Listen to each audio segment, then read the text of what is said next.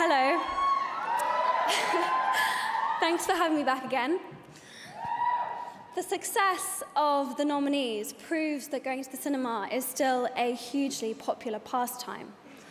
Tonight, you're going to see clips from four outstanding movies. They show that family films can still push boundaries and present challenging ideas. And most importantly, keep everyone entertained. And the nominations for Family Movie are. And the winner is. WALL-E.